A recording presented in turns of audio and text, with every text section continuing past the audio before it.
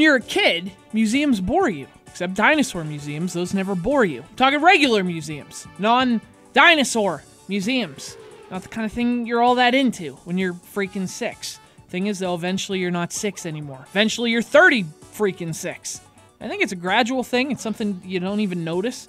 But one day you wake up, and all of a sudden, you realize everything you love is now old. And suddenly you can relate to museums. It's like walking through your attic. You know, here, here, over here, we have your first Atari, and your first NES Zapper, and your poster of Phoebe Cates that your first girlfriend made you take down.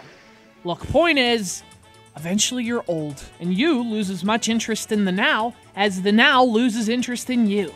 You start to turn more and more to the old stuff, to your own personal museums, and also dinosaur museums. You, you never lose interest in dinosaurs. It's Namco Museum 3!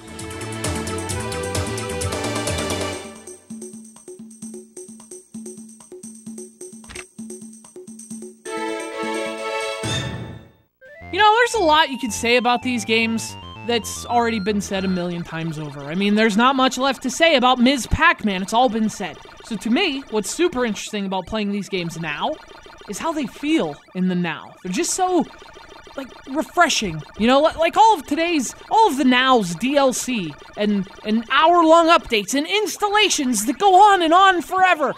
All that just washes away, you know? I, I mean, modern gaming kind of like a desert sometimes. It's barren and hot and dry and vacant of joy and creativity. So to play this is just, man, you know, you know how like right before a summer storm, the air gets that sweet smell, and and like it's almost sticky. You can feel it, and the wind picks up, and the trees start to gently sway, and then, and then the screen spazzes out for a second, but then all of a sudden.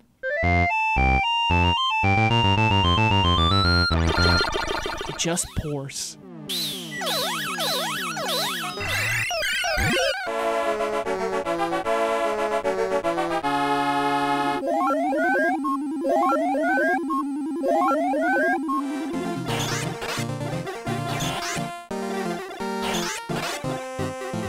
That's all very poetic. All this talk about growing up and getting old and sweet summer storms. What about the games?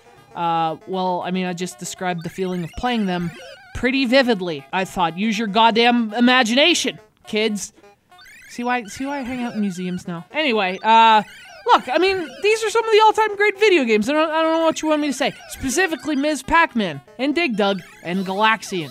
Those three games, I'm telling you, they, they play as great now as they did 30 years ago. Seriously, it's amazing. They control great. They look timeless, which is another interesting thing about playing them now. I mean, there are games released half as long ago that were considered these these huge graphical advancements that don't look as charming as Dig Dug, that don't have the color of Ms. Pac-Man. You know, the great thing about playing these three now is that they're still great. You know, it's not a nostalgia thing. It's not a legacy act. They're so well made and well designed. They really are timeless. But of course, that's only half the package. There are three other games too, because that's how math works. You get Pole Position 2, as well as two games I'd never played before Phozon and the Tower of Draga. Draga, drug, or however you say it. But anyway, Pole Position 2 is, uh, well, it's, it's Pole Position 2. It's tough to get a handle on its mechanics, and you're gonna crash most of the time. Until that is you remember, you can play Ms. Pac Man. At which point, you just play Ms. Pac Man. But after that, you have Phozon, which is actually kind of interesting, at least aesthetically and conceptually. It's like a puzzle game that's set beneath like some kind of super microscope or something. You, you control this little atom, and you have to create new atoms by attaching the correct electrons or what whatever. Look, I don't know. All I know is it looks awesome, and it's a cool idea for a puzzle game. So Phozon at least had me intrigued. Only problem is. It's a lot more interesting and intriguing than it is fun, and it certainly won't interrupt your normal rotation of Ms. Pac Man, Dig Dug, Galaxian.